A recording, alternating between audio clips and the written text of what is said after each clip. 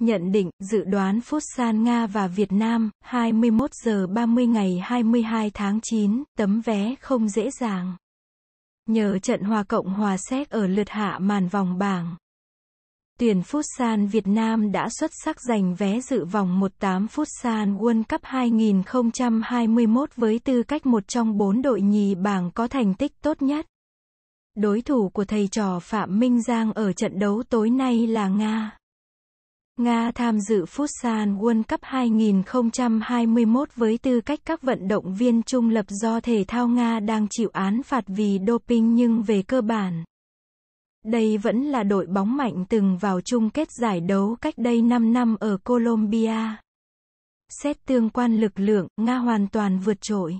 Đội bóng này đã thắng cả 3 trận vòng bảng, ghi 17 bàn thắng và chỉ 3 lần để thủng lưới. Cách đây 5 năm, Nga từng đánh bại Việt Nam 7, không ở vòng 1-8.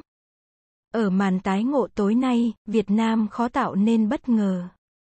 Tuy vậy, với tinh thần chiến đấu mạnh mẽ đã thể hiện qua hai trận gần nhất, thầy trò Phạm Minh Giang vẫn có thể gây khó dễ cho đội bóng đến từ xứ sở Bạch Dương. Trên sàn giao dịch, Nga được xếp ở cửa trên, ở mốc tỷ lệ này, điểm ăn cho cửa dưới được niêm yết ở mức rất thấp.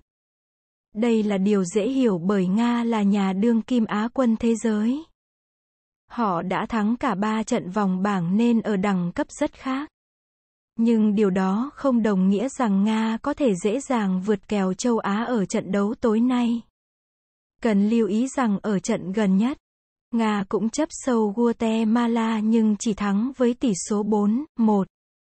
Trước đó, họ cũng gây thất vọng khi chỉ vượt qua Uzbekistan 4-2 dù chấp sâu với tỷ lệ trong khi Nga để thua kèo châu Á hai trận liên tiếp thì Việt Nam lại thắng kèo ở hai trận gần đây.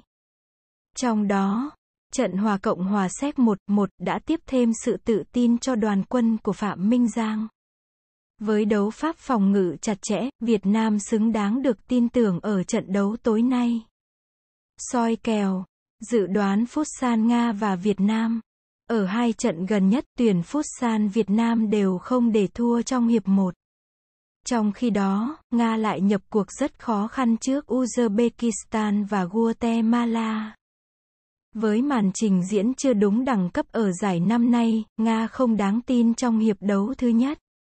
Lựa chọn cả trận.